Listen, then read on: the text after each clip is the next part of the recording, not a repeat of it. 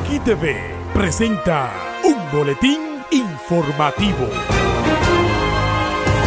Gracias por mantenerse con nosotros. La Dirección General de Cine ha dado a conocer los logros que en términos económicos y los aportes que se han hecho a la formación de nuevos profesionales del área de los audiovisuales.